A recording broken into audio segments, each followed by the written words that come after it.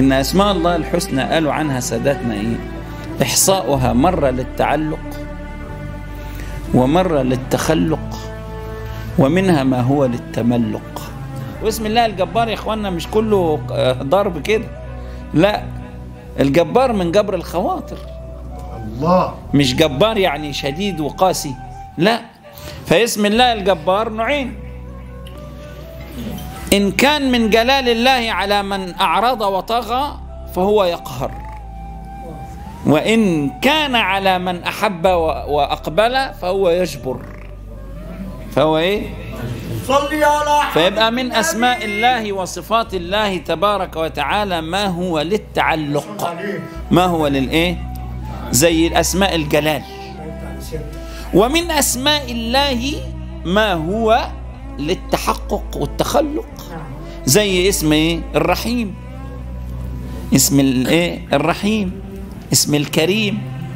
ها؟ اسم الإيه؟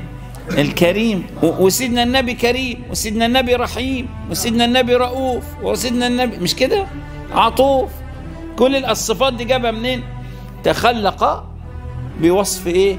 سيده. ولذلك قلت لا بد للعبد أن يعيش في حلة من نظام سيده.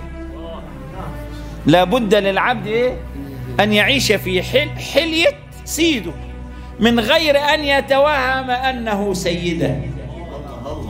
لا بد للعبد أن يعيش في ها، من طراز سيده من غير أن يتوهم ابدا إنك أنت سيدك من غير أن يتوهم أنه سيده.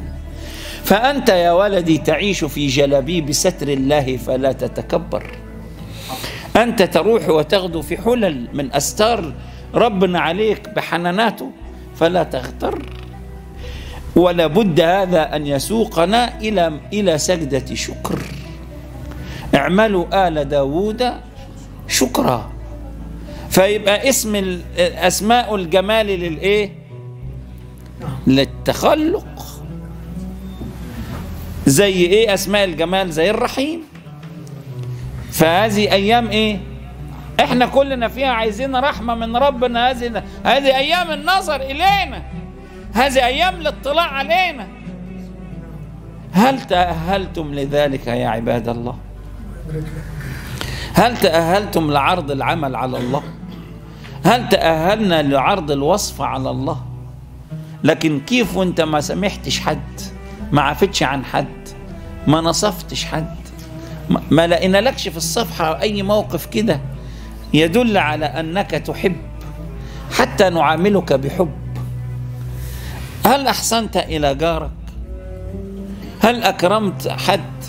هل أسعفت واحد في شدة؟ هل أكرمت جا يعني واحد محتاج؟ هل كسيت عريان؟